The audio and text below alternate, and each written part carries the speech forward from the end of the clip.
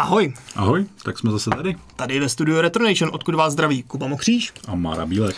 A vy se díváte na další díl pořadu Defrag, kde, jak už název napovídá, defragmentujeme, tedy kousek po kousku skládáme historii herních osobností, herních sérií nebo rovnou celých studií. A dnes se opět podíváme na jednu herní osobnost, tentokrát z dálného východu, a to bude Shigeru Miyamoto. Hello, I'm Shigeru Miyamoto, a game developer of Nintendo. To. Dozvíte se třeba, co má Mario společného s Pepkem Námořníkem, co má Zelda společného s Francisem Scottem Fitzgeraldem, nebo třeba proč japonští hráči při hraní foukali o 106 do ovladače Famiconu. Než se dostaneme k samotnému povídání, je potřeba říct, že na rozdíl třeba od Jordana Mechnera, kde jsme rozebírali do hloubky vlastně pět her, u Miyamoty to bude přesně naopak, protože tento chlapík se podílel na vývoji bezmála 100 titulů. Proto pochopitelně není úplně v našich silách a v našem časovém okně, abychom dokázali mluvit a ještě k tomu ukázat úplně všechny tituly, na kterých se podílel. Místo toho si tedy ukážeme ty, které měly největší dopad na herní trh.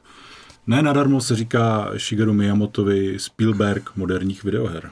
Hmm, a teď se přesuneme do roku 1962. Co se Kubo stalo v tomto roce? V roce 1962 byla například založena skupina The Rolling Stones. Podepsáním smlouvy mezi Francií a Alžírem skončila alžírská válka. Byl dokončen odstřel pomníku Stalina v Praze na Letné. A ze známých osobností se ten rok narodil třeba Ondřej Vetchý, Karl Roden, Jim Carrey, Tom Cruise a hlavně Shigeru Miyamoto. Tady ho máme.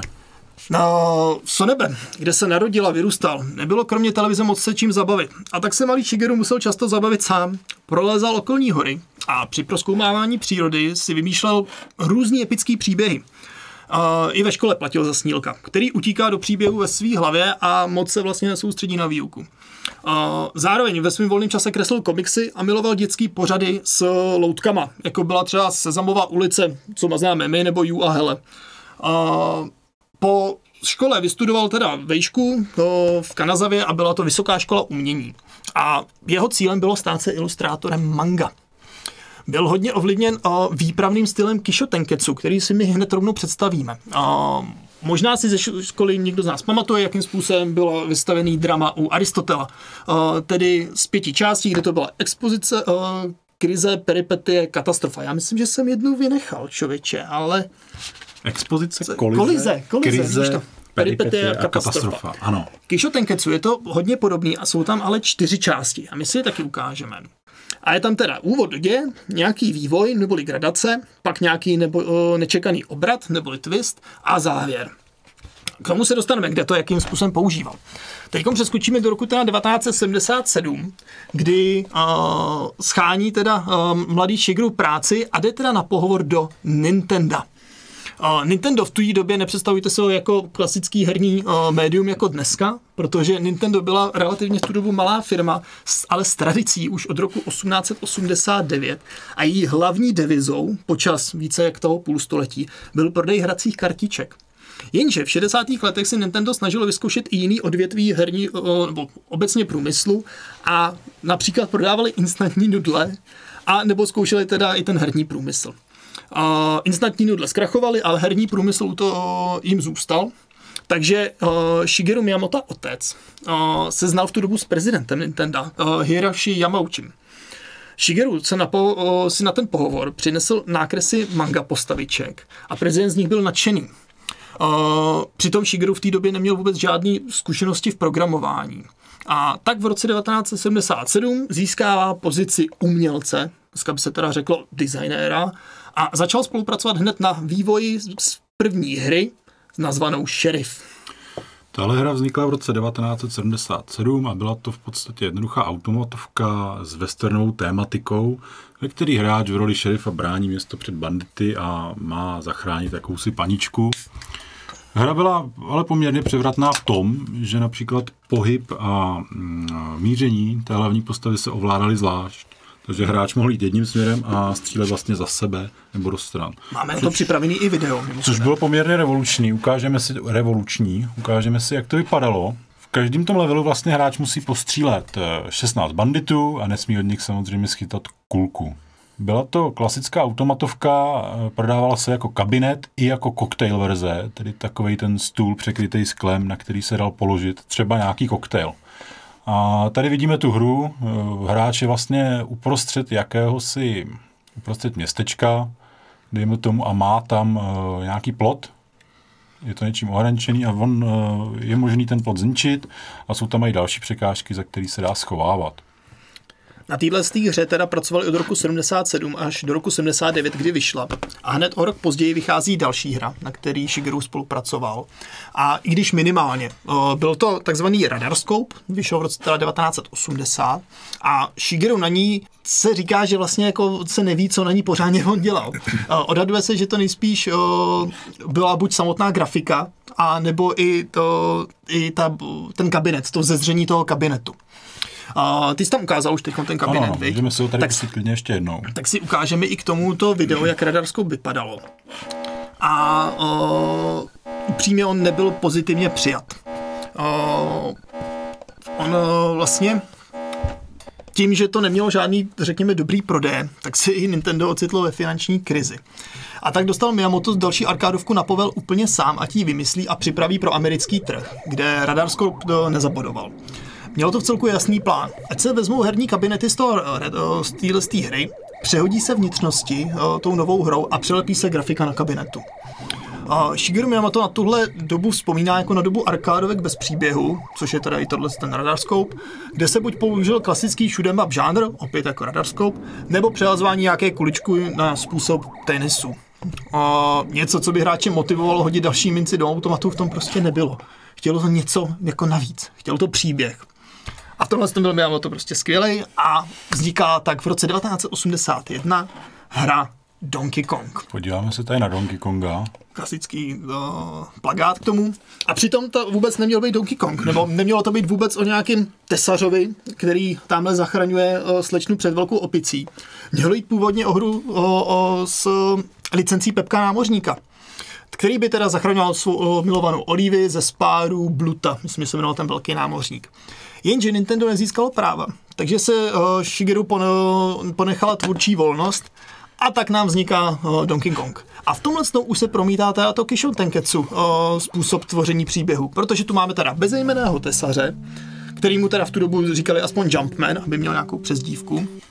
Až později jsem začal říkat Mario a to nám pak řekneš, viď? Proč? To vám povím určitě. A, a gorilu, která uteče, vezme do zajetí ma, ma, malou Paulín, tesařovou milou a pro, máme na, na světě jasnou zápletku.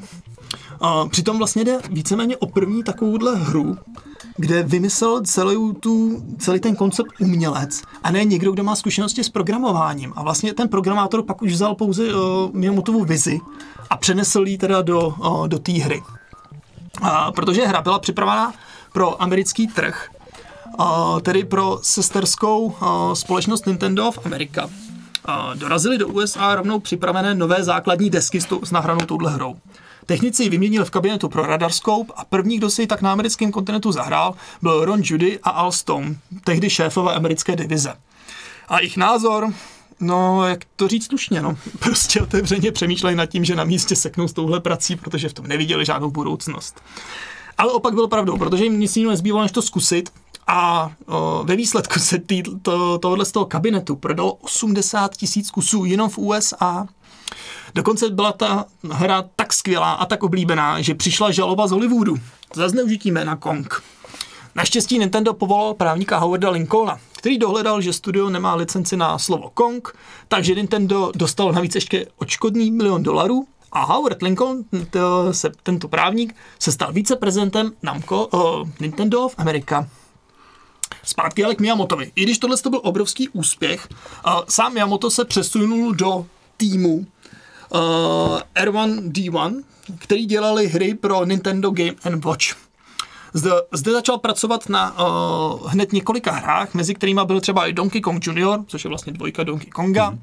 i na jeho třetím dílu. Uh, pak v sérii vyšlo, uh, Donkey Kong vyšlo dalších x dílů, o který se ale už nestaral Miyamoto uh, sám, případně teda uh, japonský studia v, od Nintendo, ale naopak britský studio Rare. Zpátky k teda Miyamotovi. Jednoho dne byl pozván do kanceláře ředitele a povýšen na vedoucího no, nového oddělení, který se jmenoval Nintendo Research and Development Number 4. Uh, a dostal naprosto jasný a jednoduchý cíl. udělat nejoriginálnější hru na světě. A tak vznikl Mario Bros. Byl rok 1983 a hru vytvořili Miyamoto a Gunpei Yokoi. Ve hře se americko-italský instalatér Mario a jeho bratr Luigi snaží vyhubit příšerky vylézající z potrubí tím, že otočí na záda a odkopnou pryč. Příběh se odehrává v New Yorku, kde se oba dva instalatéři vydávají do hlubin stok a kanalizací, aby vyšetřili, co se tam vlastně děje. Cílem každé úrovně je porazit všechny nepřátelé, Není tam samozřejmě ale možné jako v pozdějších verzích Mária na příšery skákat a tím je obracet na záda. Otáčení e, probíhalo tak, že Mario je obrátí výskokem opatroníž, takže vlastně ze spodu. Když hráč otočeného enemáka nezlikviduje včas, otočí se příšera naspět, změní barvu a je rychlejší. Každá úroveň má samozřejmě svého finálního bose, který mění barvu a zrychluje automaticky. A jak už říkal Marek, tak Mario nebyl od počátku Mario, ve hře Mario Bros. to ale byla stejná postava. Jak to, se teda změnilo to jméno z Jumpmana na Maria? Tohle jméno má totiž naprosto reálný základ ve skutečné postavě. To byl Mario Segale, potomek italských přistěhovalců, který v světu podnikal ve stavebnictví a nemovitostech.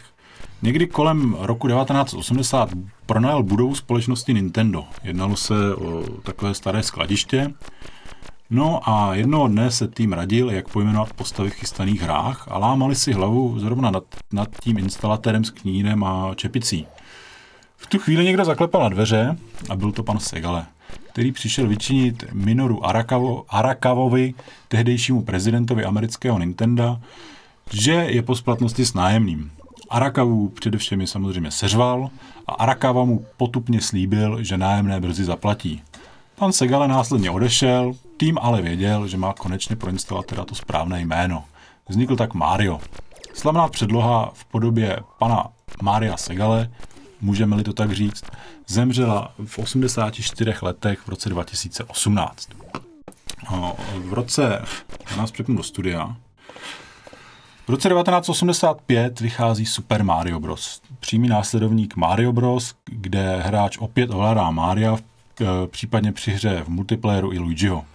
Příběh je od jedničky dost odlišný, tentokrát totiž Mario vydává přes Mushroom Kingdom, hubové království, zachránit princeznu Peach Toadstool, doslovný překlad tohle jména je eh, broskvová muchomůrka, ze spádu Bowsera, kterému se také říká King Koopa.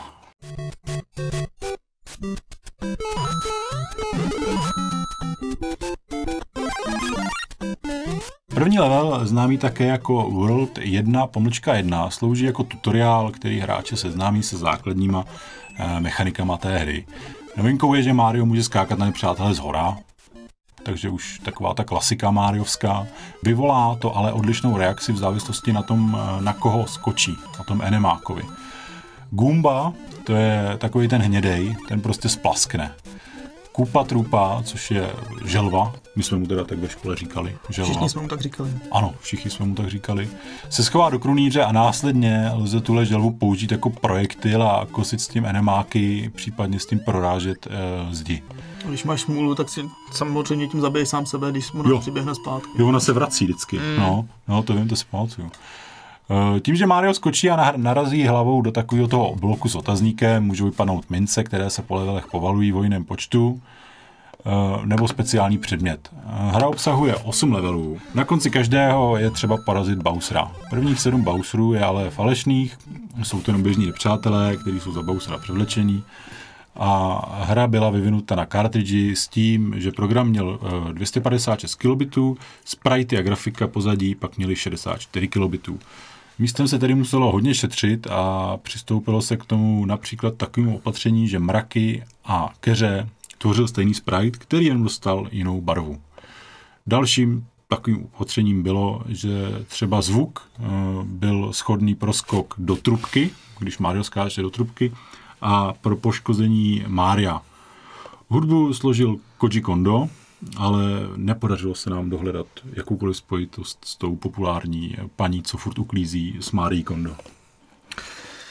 Protože po úspěchu Mária byl Shigeru povýšen na producenta. Okrajově dohlížel na vývoj hned několika her, jako je Ice Climber, Kid Icarus. To mi mimochodem hrozně baví, že někdo vymyslel hru o Daedalovi a Ikarovi. Kid Icarus. Excite Bike a Devil World. Já jsem k tomu připravil takhle grafiku, aby jsme viděli aspoň náhled. Ale samozřejmě v tu dobu už teda začíná vývoj jedné opět důležité herní série a to je Zelda. Takže The Legend of Zelda, která nám vychází v roce 1986 uh, na Famicom a o rok později vychází v západním světě na NES. Dohromady se téhle hry prodalo 6,5 milionů kopií.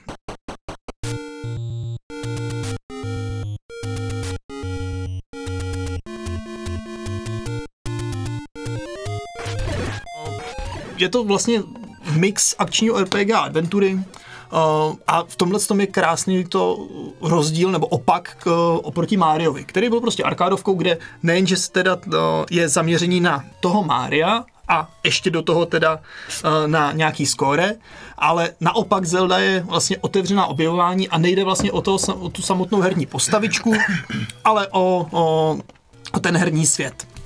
Uh, má to, samozřejmě, má to i, řekněme, hlubší děj, kde máme teda zlýho Ganona, který napadne království Hylure a princeznu Zeldu, uh, která před tímhle s tím Ganonem ukryje uh, artefakt Triforce of Wisdom, a rozdělí ho na osm částí a ty ukryje do různých labirintů, aby, uh, aby je Ganon nenašel.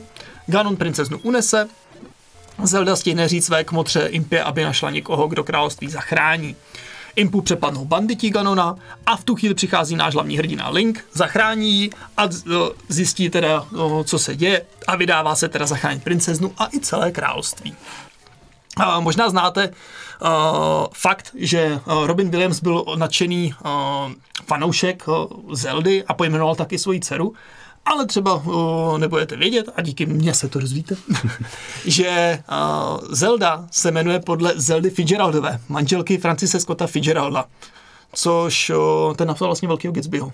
Ne, nenapadá mě nic jiného, co napsal Fitzgerald, nebo co jsem četl od Fitzgeralda upřímně. No nic, zpátky k Zeldě. Volný pohyb po mapě.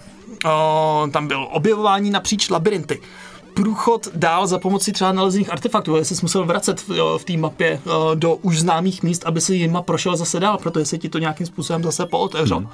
Uh, to jsou věci, které už byly v tom prvním díle a zůstávají takhle typický pro tu sérii dál. Uh, Shigeru ale v tomto případě nedělal scénář, ten měl na starosti Takashi Tezuka. A Shigeru se postaral jen o produkci. Cílem bylo mít tuhle tu hru jako launchový titul pro Famicom Disk systém, který vyšel v únoru 1986. Uh, Shigeru hrou vlastně ukazuje, jak si sám hrál v dětství po lesích na předměstí Kyoto. Proto se vlastně hlavní hrdina jmenuje Link, aby to bylo jako propojení s hráčem. Vůbec vlastně ta postava nemá být ničím zajímavá, má to být prostě stělesní nás a máme si do ní probítnout cokoliv my chceme. Když o rok později hra vyšla i na NES, tak vyšla na zlatý cartridge. A jednalo se o vůbec první hru na domácí konzoli, která v sobě měla zabudovanou baterku pro možnost uložení hry protože průměrná herní doba té hry byla řekněme nějakých 8 hodin, takže u toho si opravdu nechtěl sedět celou dobu na jeden zátah. A hlavní melodií mělo být Bolero od Maurice Ravela, ale nakonec to nešlo použít, protože ještě nepropadly licence. Takže uh, skladatel, opět Koji Kondo, uh, musel hudbu trochu upravit. Uh, my si pustíme tu upravenou verzi versus tu normální verzi.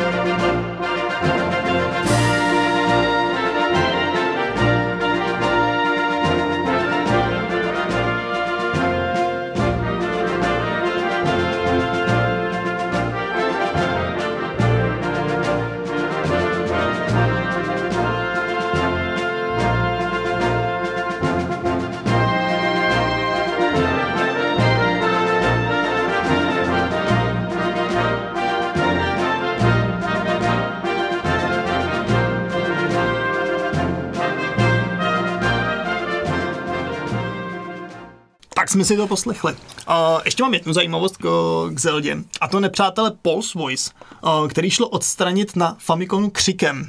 Ovlač Famiconu totiž měl zabudovaný mikrofon, takže na něj stačilo zakřičet, možná i zafoukat podle mě, ale ten křik byl stoprocentní. A tím si zabil tyhle si nepřátele. Na NES uh, tohle to samozřejmě nefungovalo, protože NES ovladač neměl mikrofon. A rovnou poskočíme. A to poskočíme rovnou k Zeldě dvojce která měla podtitul The Adventure of Link, vyšla o rok později v Japonsku, tedy 1987 a 1988 teda ve zbytku světa. Měla jednu velkou, jeden velký rozdíl, teda jako zajímavost, a to je to, že neměla už ten pohled trvalý na půdorys té hry, jako měla jednička, ale tenhle ten pohled se střídal normálně s bočním pohledem, kde byl teda klasický side-scrolling. A fungovalo to tak, že vlastně Link se pohyboval po té mapě uh, s pohledem z hora a do těch samotných uh, dungeonů, tak se dostával teda uh, z pohledu side-scrollingu. Takže se v tu chvíli vlastně z toho stává relativně jako akční adventura. Uh, zajímavý taky je, že uh, Shigeru Miyamoto opět dohlížel jako producent na hru a chtěli úplně jednou, jinou než jedničku. Takže vzal i úplně nový tým, který na ní pracoval a byli to úplně jiní lidi, teda, než uh, pracovali na jedničce. I tak tahle hra měla obrovský úspěch a prodalo se jí bezmála 4,4 milionu kopií po celém světě. Mně se ta hra fakt líbí, jako ale. Jo, já si myslím, že to je přesně taková ta ukázka toho, když by někoho nebavila ta jednička, protože to pro něj bylo prostě graficky nezajímavý, tak tímhle si krásně jako pomohl k tomu, že k tomu přilákáš úplně jiný uh, lidi než k jedničce. A hmm. přitom vlastně z herního hlediska nebo z hlediska i toho designu a takhle je to furt hrozně podobný, furt je to uh, koncepčně stejný, protože i, i s tím pohledem ze zhora, tak si tam pořád měl spoustu nepřátel, který si prostě musel odstraňovat uh, nebo za, zabíjet prostě s prostým klikáním a úhybama, takhle, což tady zůstalo, ale ve chvíli to hodíš do toho 2Dčka, tak to samozřejmě má mnohem akčnější pojetí. No je to super, fakt se mi to líbí, je to pěkný. A když už jsme u toho akčního pojetí, tak přeskočíme zpátky zase k Mariovi. Ano, jsme v roce 88, kdy vychází Super Mario Bros. 2. Opět to byla 2D skákačka. Hra se odehrává ve světě Sapkon, kde musí Mario porazit hlavního záporáka Varta. Eh, hráč si může před každou úrovní vybrat jednu ze čtyř postav, kromě Mária a Luigiho je to i Toad, což je humanoid s takovou tou houbohlavou a princezna Peach. Charaktery se malinko liší svými schopnostmi, třeba Mario umí skákat ze všech nejdál a Peach umí plavat. Hra vyšla nejdřív v Japonsku a byla teda o dost těžší než předchůdce. Americké Nintendo to vyhodnotilo jako fakt až jako, až jako zahranou, jako fakt hodně těžký. A nakonec teda museli najít náhradu. Nějaký čas jim to zabralo a nakonec padla volba na hru eh, Dream Factory Hard Pounding Panic, která byla přepracovaná a udělali z ní jednoduše evropskou a americkou verzi Super Mario Bros. Ta hardcore japonská verze potom vyšla na těchto trzích jako Super Mario Bros. The Lost Levels. Že jestli to chápu správně, oni udělali dvojku a uh, rozhodli se, že ta dvojka je moc těžká, takže vzali úplně jinou hru, která uh, v, Japonsku měla nějak pod jiným názvem. Tu předělali jako Mária, No, já si představuji, jako dvojku že to, že to spíš... a, tu původ, a tu původní dvojku teda zase vydali jako pak na západě znova s tím, že se jmenovala jinak. No asi to přeskinovali. Víceméně no, si myslím, no, jasně, jako, jo. jasně, no. A vydali ji pro uh, Evropany a Američany, který by u toho roztřískali. Hmm, když to Japonci prostě... se zenovým klidem dál a dál dokola a dokola opakovali tak. první úroveň, kterou nemohli dohrát. A pokud ji nedohráli na po tisící, tak prostě spáchali sepuku a uh, hru dědictví. se kartridži. ano, v dědictví ano. prostě získal další nešťastný synovec, který a historie se opakovala. No, nic. Uh, každopádně jsme u trojky Super Mario Bros. 3 opět uh, Japonsko rok 1988, Amerika rok 1990 a Evropa ostrouhala a měla tuhle hru až v roce 1991.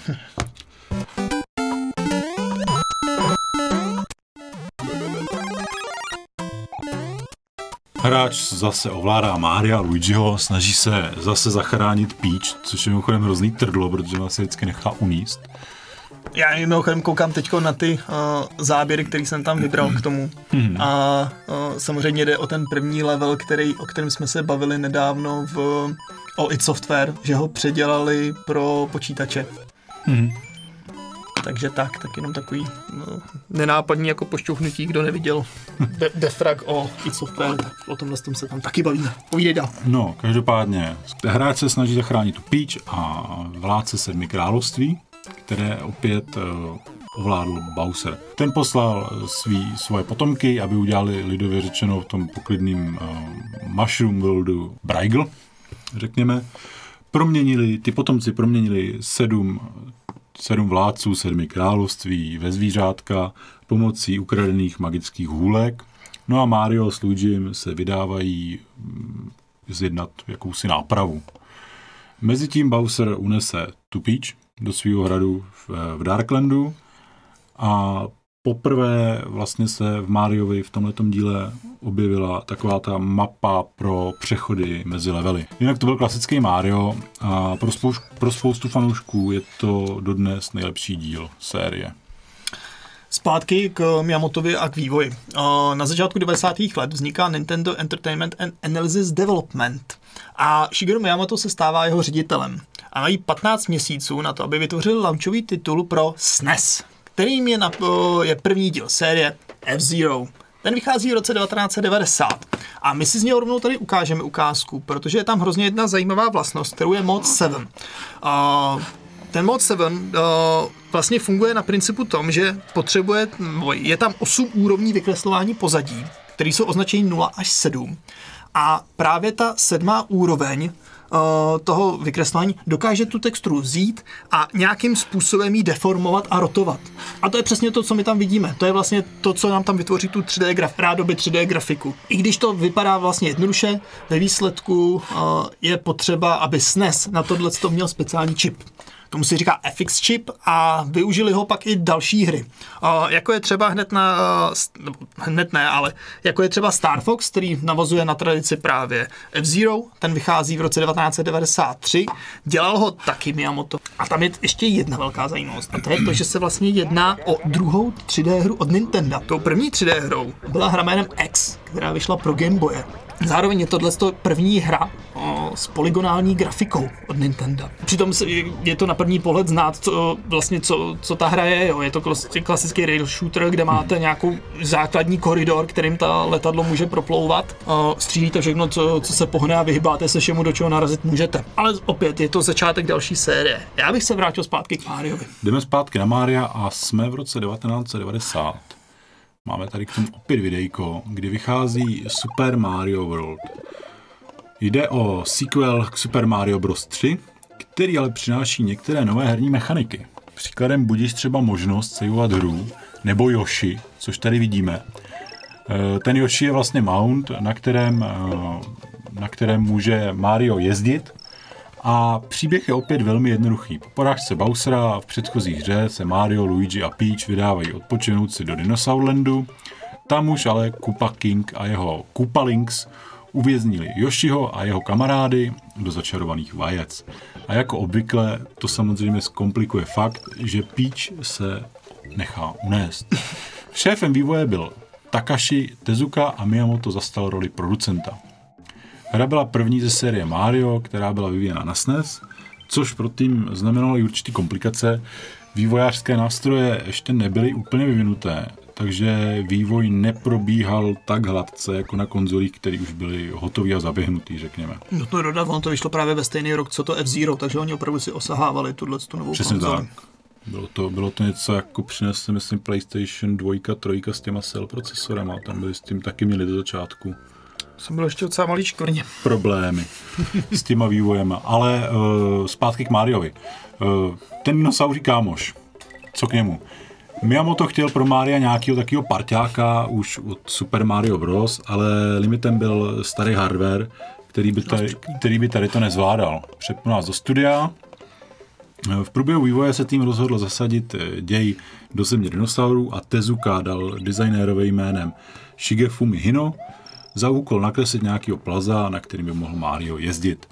Návrh vypadal až moc jako, jako plas a nezapadl úplně do té hry, protože byl příliš realistický. Takže Tezuka Hinovi řekl, že by to chtělo něco víc rostomilého a protože ten designér věděl, že Miyamoto rád jezdí na koni a má rád westerny, vznikl Yoshi. Je to v podstatě takový dinosaurus, na kterém Mario jezdí tak trochu jako na koni. No, je to na něm docela vidět. My se přesuneme do roku 1991, kdy nám na SNES vychází uh, nový díl Zeldy a s podtitulem Link to the Past. Uh, v něm jsou teda pryč ty side-scrolling levely, ale je tady veliký rozdíl a to je to, že tam jsou takzvaný paralelní světy, světlý a temný.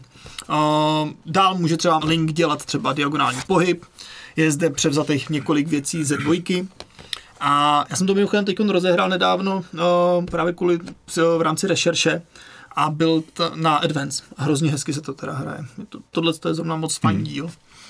A no, co se týče děje, tak je tam záporný mák Agahnim, který zajme princeznu a snaží se osvobodit svého pána Ganona, který je uvězněný právě v tom temném světě. Je to vlastně prequel k předešlým těm dílům.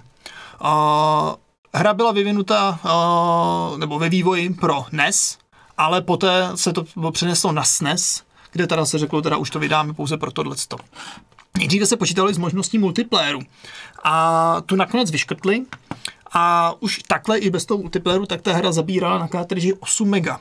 Uh, což je vlastně dvojnásobek jako proti průměrné velikosti těch her, které měly teda 4 MB. Pojďme zpátky k Mariovi. Zpátky k Mariovi, ano, přesně tak. Máme tady rok 92 a s ním uh, v něm vycházel uh, Super Mario Kart, což, jak už název napovídá, je závodní hra a to na SNES. Na výběr z osmi charakterů z Mario světa a celkově se hra zaměřovala spíš na hru dvou hráčů na jedné obrazovce. Ta obrazovka byla vlastně vždycky rozpůlená. Když hráli dva hráči, tak jeden byl nahoře, jeden byl dole. A na tom videu vidíme hru jenom jednoho hráče. Tam, tam byla v, tom, v takovém případě byla dole mapa té trati, kde byla vidět pozice těch těch uh, oponentů. Těch to přijde, kdyby to byla taková malá příprava už na Nintendo uh, DS, že jo, kdy vždycky si měl tu spodní obrazovku, to řekněme informační. No, nechtěně možná to tak působí, no. Hmm.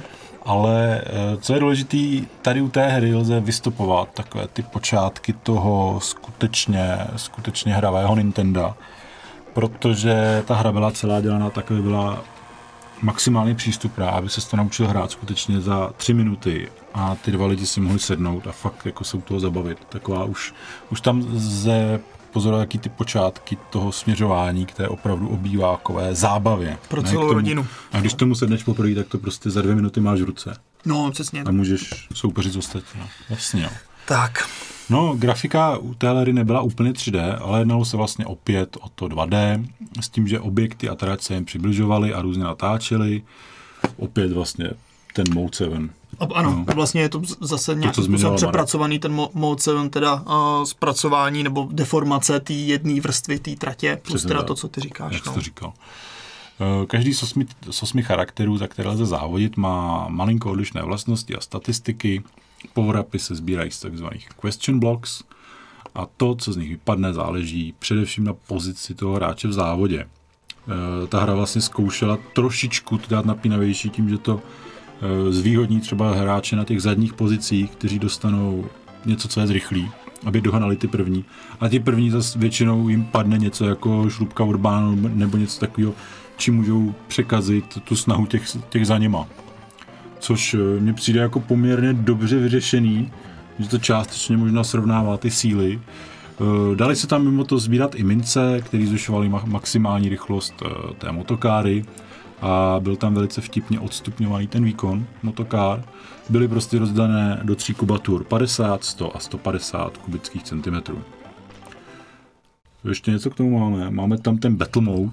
Eh, vlastně to byl režim, ve kterým se ty hráči utkávali v aréně jeden tam na jednoho. Ty, tam byly ty balonky. Vědě, no, oni měli balonky, on měl vždycky na tým motokáře měl tři balonky, ze předu a ze stran, myslím a oni si je měli zájemně jakoby ničit, ty dva hráči a vyhrál ten, kdo měl, kom, prohrál vlastně. Ten, který vypadl, který mu popraskal balon. Vyhrál ten, kdo neprohrál. jo. Jednoduše. To zní logicky, člověče. Eh, přesuneme se zpátky zase k Zeldě, protože v roce 1993 nám eh, vychází další Zelda a ta se jmenuje Link's Awakening a vychází jako první pro Game Boy. Uh, je to zároveň čtvrtý díl série. Uh, nedávno byl zrovna tenhle ten díl portovaný na Switch, ale upřímně, ono, většina těch her byly portovaný později na Switch, nebo minimálně byly dělány nějaký remastery, takže to nemá cenu zmiňovat u těch dalších dílů. Nicméně, na tomhle tom projektu dělali vývojáři po pracovní době nejdřív, jenom proto, aby si zkusili, jestli dokážou přenést nějakou velkou hru vůbec na malou přenosnou platformu Game Boy. Uh, později si to všimlo studio a řekli si, hele, tak uh, oni nejdřív dělali dokonce jako port toho Link to the Past toho třetího dílu. A když si to všimlo studio, tak řekli, ne, ne, ne, tak pojďte, udělejte úplně nový díl, prostě samostatný pro Game Boy Color. A On teda vyšel v roce 93, o pět let později pak vyšla ještě barevná verze, která měla o, ještě na konci napsáno DX a ta vyšla teda logicky pro Game Boy Color. O, dohromady i ty černobílý, ty barevné verze se prodalo 6 milionů kopií. A přitom je to Zelda bez Zeldy, protože i když má Zeldu v názvu, tak vůbec to není o Zeldě, jelikož o, příběhově je tam Link na ostrově, kde vlastně uvízne a odkud může uniknout pouze tak, že porazí 8 bosů a pozbírá 8 hudebních nástrojů, se kterými poté zahraje a může se z toho eh, ostrova dostat pryč. Nebudu říkat konec, je tam zase velký spoiler, který prostě i po těch 20 letech je prostě hrozný kliše. Ale zpátky k tomu Shigerovi, ten v roli producenta vlastně do vývoje v tomto případě vůbec nezasahoval. Naopak byl, byl si zahrál roli testra, kde uh, dostával teda už jenom ty funkční verze a dával k tomu zpětnou vazbu. Aby si to vyzkoušel i z druhé strany vlastně.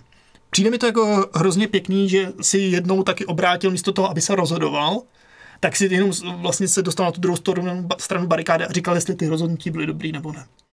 A to mohl být taky teda hodně užitečný podstatě. No, no rozhodně. Protože jako... byl tester, který byl designer vlastně, takže tam no, mohl hl- vidět. Hlavně byl tester svojí značky, že jo? Jako on, hmm. on, jako má za sebou ty předešlý tři díly té Zeldy, takže opravdu ví, o čem mluví. Není to jako základní beta tester, který netuší, co dělá. Hmm. Tím nechci urazit beta testry, že jo? Ale jako pokud beta tester ti bude dělat beta testing a vedle toho máš testera, který jako řeší celý koncept té hry, jestli funguje nebo nefunguje, tak prostě ten musí vědět od začátku do konce, o čem ta hra má být. A to prostě Shigeru věděl. To je super, jo. Nedal. Ano, zpátky k Mariovi. A 96. rok, povídej. Zůstaneme chvilku ještě u RPGček vlastně. Přesně tak, zůstaneme u RPGček, protože v 96. roce vychází Super Mario RPG Legend of the Seven Stars. Hra byla vyvíjená pro SNES, opět, a jednalo se o první RPG ze světa Mária.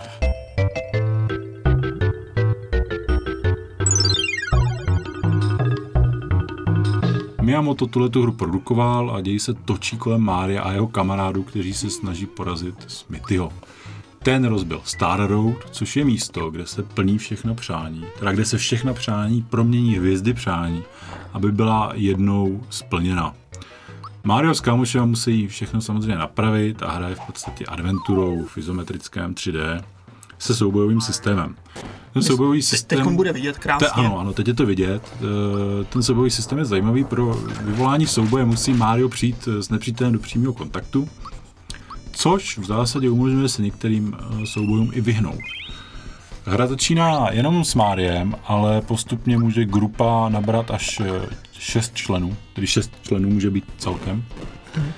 Souboje se ale můžou účastnit pouze tři. Každá postava má, jak už to tak bývá, silné a slabé stránky, což se pak projevuje v těch soubojích a obecně v té hře. Připnu nás zpátky do studia a jsme pořád v tom samém roce, kdy vychází Super Mario 64 na Nintendo 64.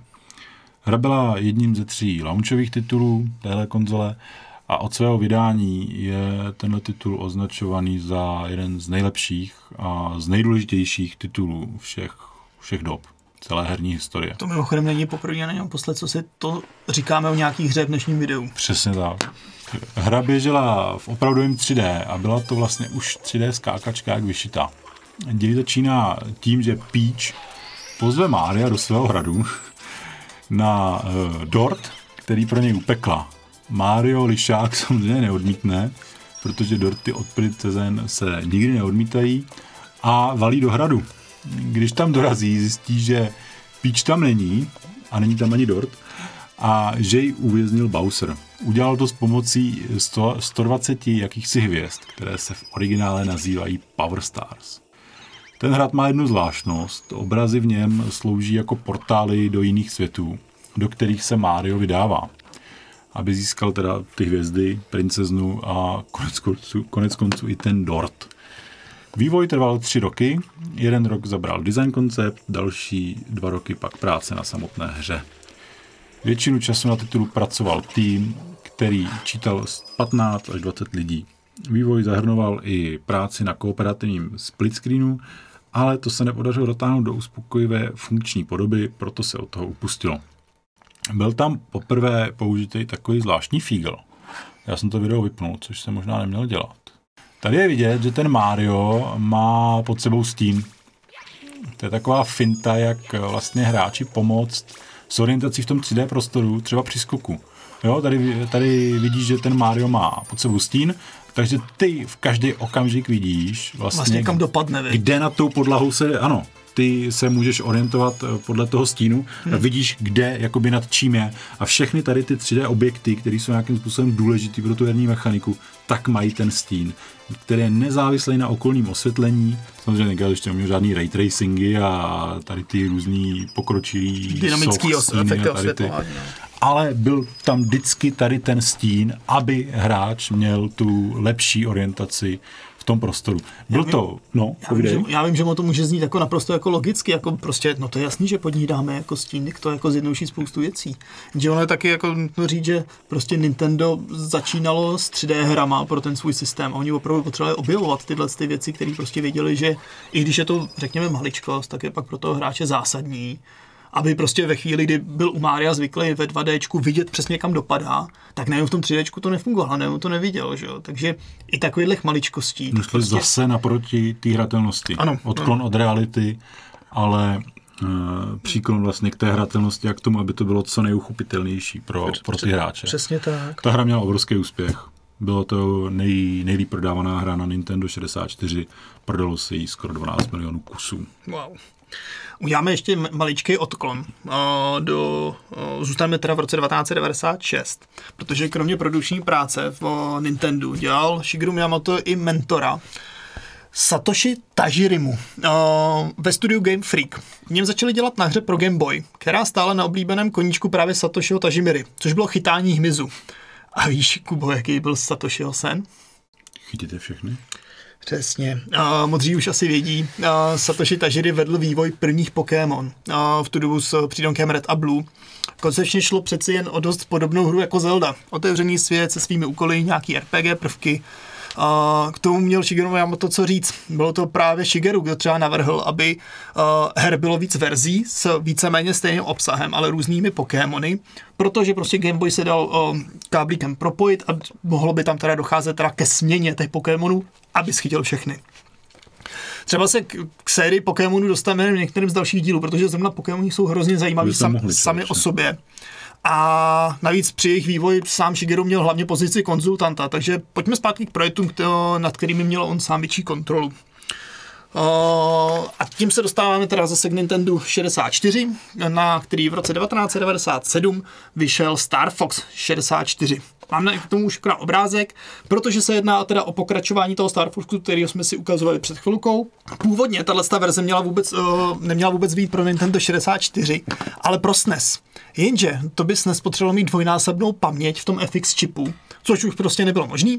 Takže nejdřív se řeklo, že by se ten projekt mohl zrušit a místo toho tak řekli, hele, tak ho nezrušíme, ale nějakým způsobem ho přepracujeme, aby jsme ho mohli vydat pro to Nintendo 64. Takže podle Miyamotových slov je ta hra 30%, 30% původní ta hra, jako jednička, 60% ta uh, zrušená dvojka a jenom 10% je vlastně čistá práce na tom, aby to vůbec jelo na uh, Nintendo 64. Zajímavý taky je, že tahle hra jako vůbec první no, podporovala přídavný zařízení Rumble Pack, což je tato, uh, tenhle ten podvěsek, ne mozkový, ale ovladačový, který je tam vidět. A hádej, co dělal? Rambloval. Rambloval, vibroval. Přesně, byla to, byla to úplně základní vibrace, kterou už dneska hmm. bereme jako úplný základ. A Přesuneme se k jiný zase sérii, o kterých jsme dlouho nemluvili, a to je Zelda. Protože v roce 1998 dolížel Shigeru na vývoj a tedy vydání. Pustil super. Co tam máme? A to je v mnoha žebřících brána jako nejlepší hra všech dob. Trufnul jsem tě. Opět je tady nejlepší hra všech dob. Hmm. A mimochodem je tam použitý engine právě z Maria 64, i když je značně modif- modifikovaný. A tady měli úplně novou strategii v, ve vývojovém studiu. a řekli si, hele, tak rozdělíme ten vývoj na několik podsekcí, které vzájemně budou minimálně spolu komunikovat a každý z nich bude mít nějaký svůj úkol a Shigeru bude jenom dohlížet nad jejich, řekněme, ředitelama nebo vedoucíma té výroby a uvidíme, co z toho bude. No, nefungovalo to samozřejmě, takže vlastně furt se některý, vždycky, když narazil na nějaký společný problém, tak se ty dvě studijka, nebo tady dva ty vývojářské týmy spojily, tamhle se spojili, až ve výsledku zase měli vlastně jeden tým, nad kterým Shigeru vlastně dělal producenta a kontroloval už teda vývoj kompletně. Takže slepá ulička tam byla v tom vývoji. No, spíš řekněme, že jako si uvědomili, že fakticky je to dost špatně, ale zase taky je dobrý uvědomit se, jako, že tudy ne, pánové. No nic, původně měla tato verze vít na CD pro přídavek uh, 64DD, 64DD. Není to velikost podprsenky, má to, je to disk drive po, pro, pro Nintendo 64. Ale nakonec... ale nakonec z důvodu odsunutí vydání tohoto rozšíření a nevyřešení problému s načítáním množství textur najednou uh, se přesunula hra zpátky na cartridge a uh, další změnou třeba, která tam měla být, je to, že to mělo být FPS. No, vlastně jako první Zelda. Jenže ono tam dějová, v té dějové lince tak se uh, hraješ střídavě za mladšího a staršího Linka s různýma schopnostma. No a zjistilo se, že vlastně, když bys nevě, neviděl toho linka, jestli je mladý nebo starý, tak opět by tě to pletlo, eh, co, za, za jaký schopnosti v tu chvíli má. Takže opět je to jako, dneska by tě to nenapadlo, dneska jako, když by si opět měl jako hru, kde budeš jako z první osoby a budou se ti střídat vlastnosti, tak vlastně vůbec nepřemýšlíš nad tím, jestli ten tvůj hráč, který to bude teda ovládat, jestli ho to bude mást nebo ne ale i v tu dobu opět je tady vidět ten vstřícný krok vůči hráčům, že, že si řekli, hele, oni když ho neuvidějí, tak se jim to bude mást. Prostě nechceme to udělat co nejjednodušší na ovládání, co nejpřístupnější, tak prostě hoďme to z toho, z toho pohledu té třetí osoby, prostě přesuňme tu kameru zase za jeho zády. Za jeho záda. Tak. Uh, Ocarina of Time, o té bychom mohli mluvit hodiny, ale opět se posuneme dál a to se posuneme se tentokrát o dva roky později, do roku 2000, kdy nám na Nintendo 64 vychází po přímý pokračování, která se, který se jmenuje Majora Mask. Majora Mask, Majora Mask. Je použito mnoho technik a modelů v této hře, právě z toho předešlého dílu. Uh, ale je tady taky několik hrozně zajímavých uh, novinek. No, první je transformace toho hrdiny pomocí masek, který sbírá v té hře. Pro mě ještě mnohem zajímavější je třídenní cyklus. Ona ta hra vlastně funguje v takzvaném třídenním cyklu, který ale v reálu trvá 54 minut. A ty se tím vlastně tím linkem vždycky, když něco vlastně dosáhneš, tak se vlastně vrátíš na začátek a vlastně opět ta, ta linka jede znovu. Uh, trošku mi to připomíná dneska, že nebo tenhle rok bude vycházet třeba The Deathloop, myslím, že se tomu jmenovat, který taky vlastně funguje v cyklu jednoho dne a neustále se tam opakuje jako uh, čas, časový uh, nějaký, nějaká časová rovina, časová linka. No nic, jedeme trošku dál.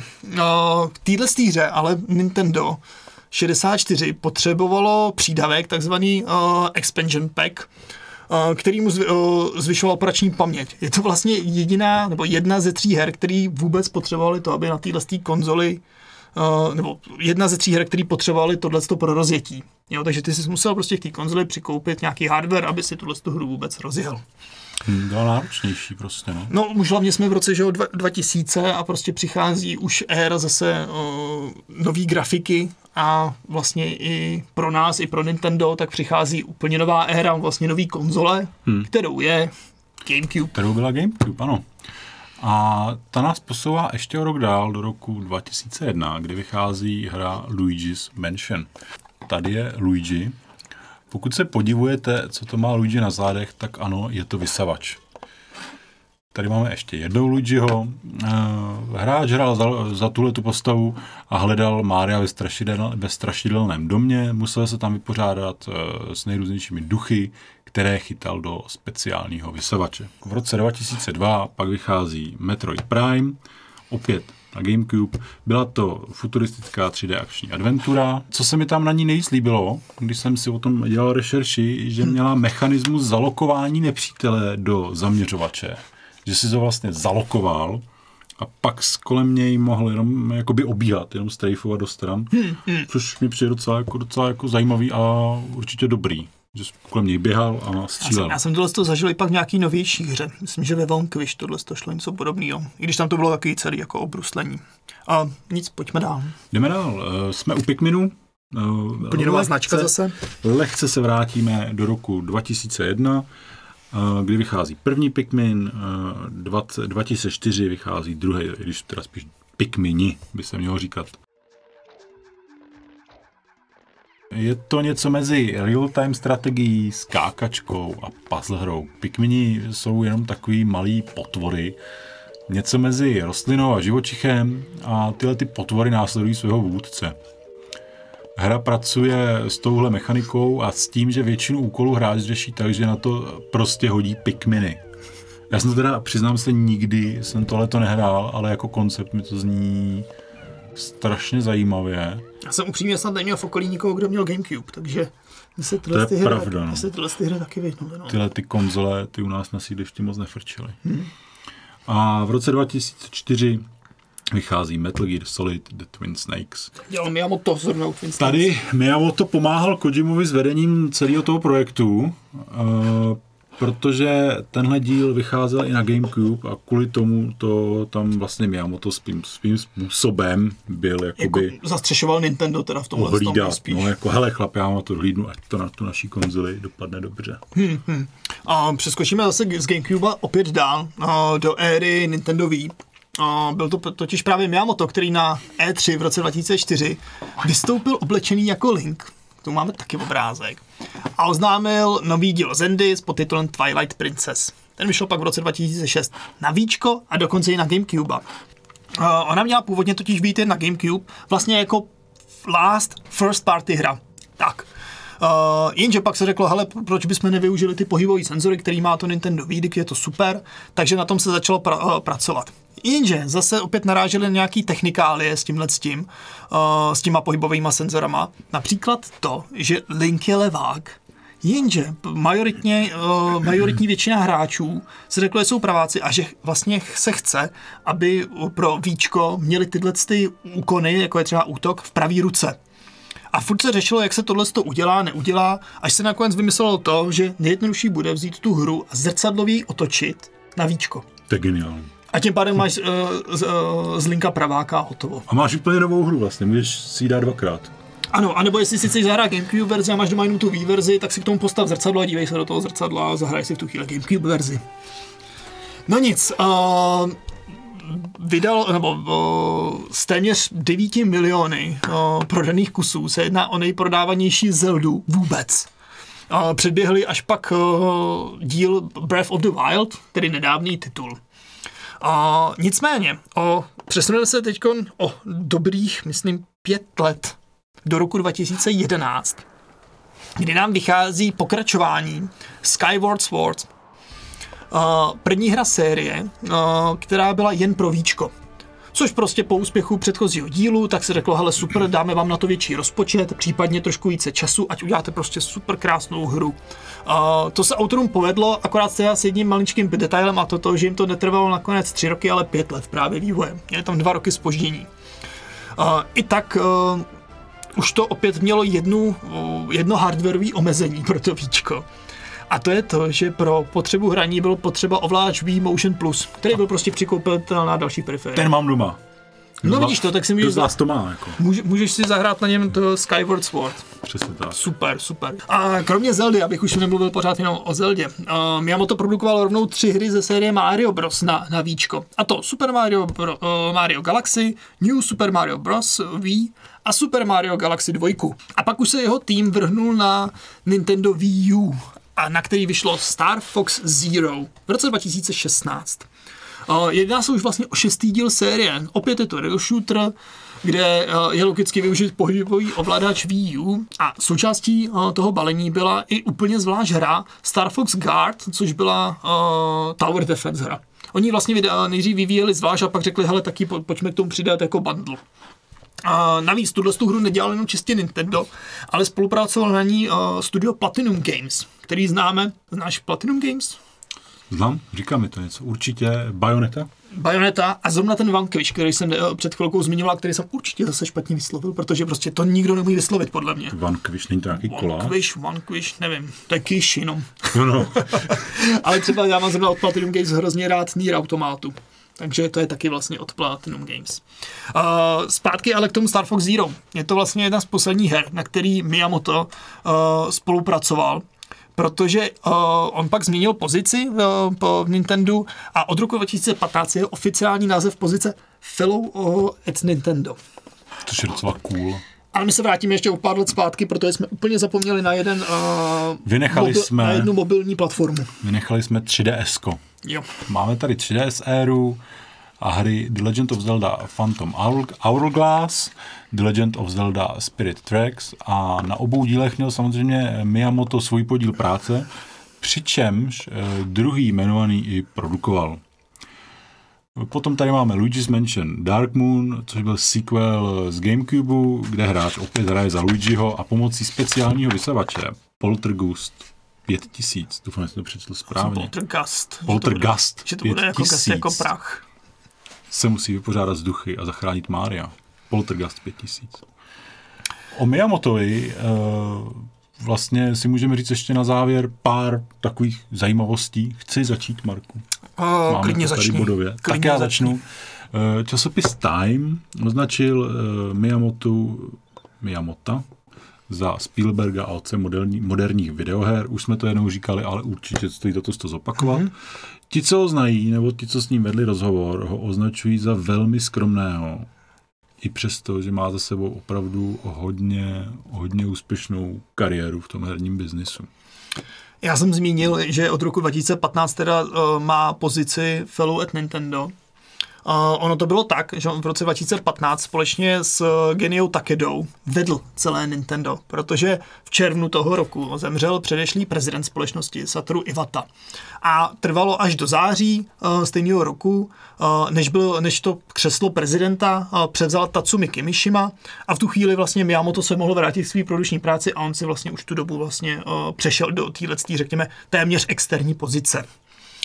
Uh, zajímavý je teda. Chceš to říct ty, nebo, nebo já? Tak to asi, tak to asi ne, tak ty mě to jak zvrhlý. Přest, jo, představte si, že co, co nosíte běžně v kapsách, uh, tak Miyamoto sebou běžně nosí, nemáš ho u sebe to, co nosí u sebe Miyamoto, co?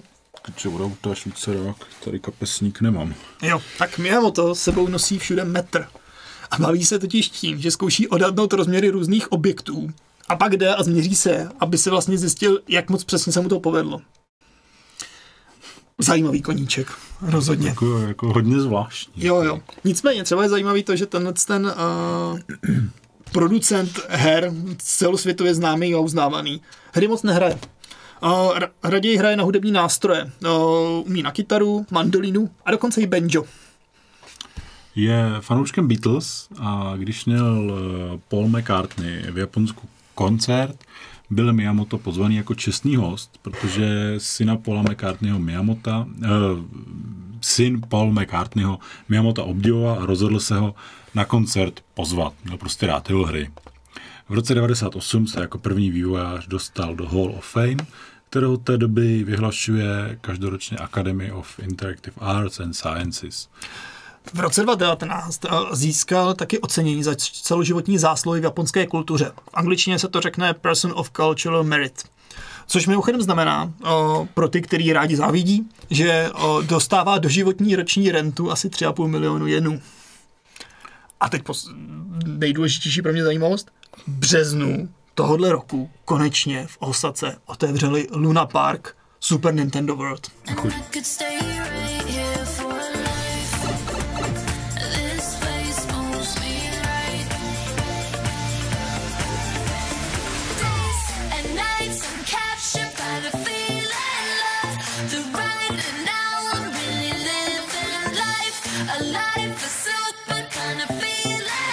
Chodím tam lidi? Hele, chodím tam, já už jsem koukal na nějaký recenze. Ono je to teda celý udělaný ne, že by tam byly, řekněme, atrakce, že si představíš přesně, jako co, proječte se na Bowserovi tamhle nějakou jeskyni a takhle, ale to o tom, že dostaneš pásek na ruku a ty procházíš celým tím parkem, máš tam kostičky, tak do nich boucháš a získáváš body, pak tam probíháš nějakým bludištěm a ťukáš tam do věcí a získáváš body a pak si za to něco vybíráš. A pak jdeš, že jo, a koupí, koupíš si nevím, o bagetu ve, ve tvaru prostě Máriový čepice a dá, dáš za ní hroznový miliony jenů prostě, no. Je to hezký, je to prostě pro děti, ale je to takový hezký hravý. Klidně bych se do toho šel, jo? vůbec by to nevadilo. Uh, Miyamoto má dvě děti, kluka a holku. No, dneska už teda muže a ženu, dá se říct. Ty v dětství hráli hry, ale současně s tím je Miyamoto nutil i chodit ven a hrát si s ostatními. Zajímavé je, že Miyamoto nemluví plynule anglicky, preferuje vést rozhovory v japonštině a obecně ten člověk moc nevyhledává pozornost médií. Drží se spíš ústraní a poslední zajímavostí je, že je poměrně eh, s úspěšným takovým poloprofesionálním chovatelem psů. Což mimochodem mě ještě napadá k tomu jedna věc. Eh, kdo miluje eh, sérii, nebo bylo to několik her Nintendo Dogs, taky je produkoval, což je prostě jeden z těch ze titulů, na který nemáme kapacitu, aby jsme vám Nintendo ukázal. Dogs nebo Nintendo Dogs? Nintendo Dogs, myslím, Nintendo že to... Dogs, myslím, že. Tak. No nic, přejdeme k poslední části, poslední fázi. Bonu, takový, taký bonus. Bonus. Ano, a to je? Máme tu malé Márovo kulturní okénko. Uh, o Miyamotovi, lomeno o těch hrách, který uh, on produkoval nebo sa, sám vyvíjel, tak vyšla řada knížek. Z nich já jsem vybral jednu, která se jmenuje teda Shigeru Miyamoto, Super Mario Bros. Donkey Kong, The Legend of Zelda.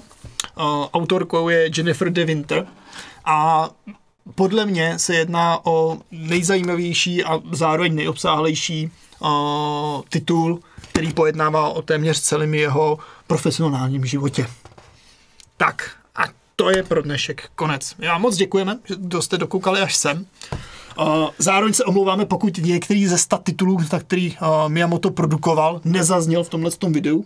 Já myslím, že bylo nejdůležitější, aby jsme vytáhli ty, který byly buď uh, biznisově nejzajímavější pro Nintendo, ale prostě herní svět není jenom o penězích, ale zejména o tom, že právě Miyamoto je ten člověk, který dokázal ve svých hrách ukázat ty trendy, které se následovaný i do dneška třeba po desítkách let. Právě proto je ukázka toho, že právě co si budeme jako Mario i Zelda mají ve výsledku pořád stejný uh, třeba děje, pořád, stej, hmm. pořád už mají třeba 30 let stejný herní principy, ale pořád nás to baví. Pořád nás to baví, ano. Tak jo. Tak, Jdeme jo, domů? tak jdeme domů. Tak jo, děkujeme. Díky, Mějte se hezky, čau. Ahoj. このビデオテープで任天堂のテレビゲームがどのようにして出来上がるかがご理解いただけたと思いますありがとうございました